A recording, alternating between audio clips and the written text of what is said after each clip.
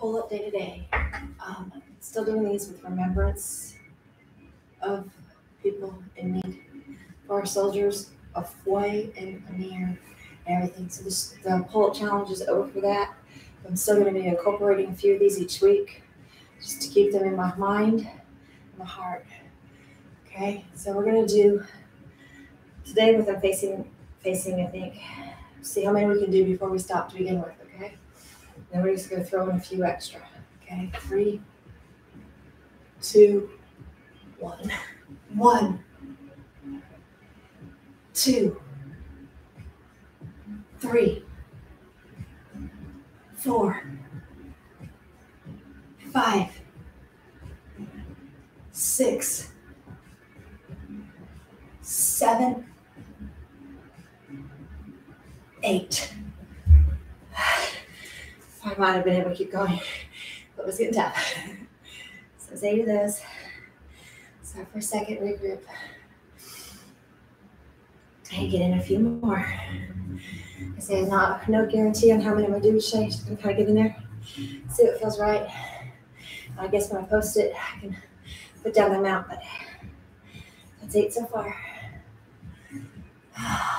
Three, two, one. Come on down. Nine, ten, eleven, twelve, thirteen.